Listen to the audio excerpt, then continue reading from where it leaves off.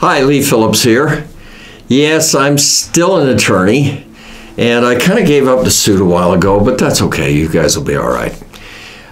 I want to answer the question Does a will need to be notarized? And I've done estate planning and written a lot of books about it, and this and that and the other, and the answer is no. A will does not have to be notarized. In fact, a notary on a will really doesn't mean anything because in every state, two witnesses, not a notary, two witnesses are required in order to make the will effective. Now, this is a, a, a, typewritten will. There are holographic wills. Those are wills that you write in your own handwriting and all that stuff.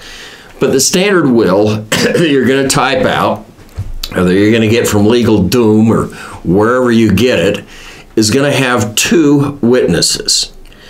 And those witnesses have to be individuals who aren't related to you. They don't have a dog in the fight, so to speak.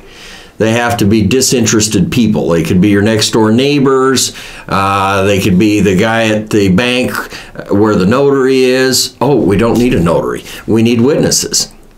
Now, on my wills, I have what's called a self proving provision.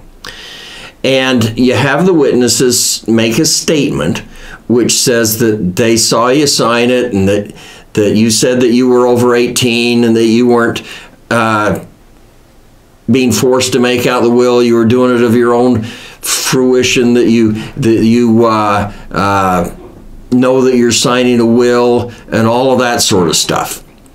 And then the witnesses sign the statement saying that uh, that they saw you do the will. Then we do have a notary. And the notary notarizes your signature and the two witnesses. This doesn't validate the will, but it makes it so that we can't, the state basically, can't question whether the will was properly signed and witnessed. It's called a self proving provision. Uh, the state, the notary, is a person who acts on behalf of the state the state agent has actually verified on behalf of the state that the witnesses really did see you sign it and that you really did sign it. So, no, we don't have to have the notary in order to have a will. In fact, a will with a notary is not a valid will. The will has to be witnessed by the two individuals. Then we can have a notary which verifies for the state that the witnesses signed it, that you signed it. That way, we don't have to go back and drag the witnesses into court and have them say, Did you really see this guy sign the will? You have the state already verifying that they saw you sign the will. So it's a self proving provision. It isn't a will validation provision. It's just verifying on behalf of the state that you signed the will. Now, the trusts are a little different, and we're not really talking about trusts. We need to do another video on that, I guess. But the trusts are often notarized. They are usually not witnessed. I actually have people uh, witness my trust. I mean, the guys are there for the will anyway. Let's have them witness the trust California is the only state that says, oh, you need to have two witnesses for your trust. They say a trust is basically a, a, a document which distributes assets after the guy dies. So that's kind of like a will. So California said, okay, we need to have it formalized the same as a will. So in California, you do have to have the two witnesses. I still have the notary, and that's the self proving provision. But in most states, the trusts are simply notarized. Now, trust doesn't need to be notarized either. All it has to do is be signed.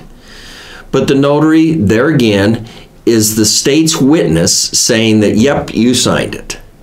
And we don't have to go back to court and argue whether or not you signed that document. So, is it necessary to have a notary on a will? No. Uh, you do need two witnesses if it's a typed out will, a formal will. You don't need two witnesses if it's a holographic will, all in your handwriting, and, and we have other videos on holographic wills. There's certain things you got to do, but uh, but generally, no, you don't need the notary on the will or the trust. Uh, I have a good ebook out. It's about 14 pages, I think. I actually got somebody who said the other day, this is really good, and it was somebody that I admire a lot. And it teaches you how to use the trust and the will. It's how to use a trust, and go ahead, pick that up. Just click the button below, and don't forget to love us and like us and kiss us and and uh, subscribe and all of that garbage. But uh, learn how to use your trust and will. It's important and it's easy. You can do it, no problem.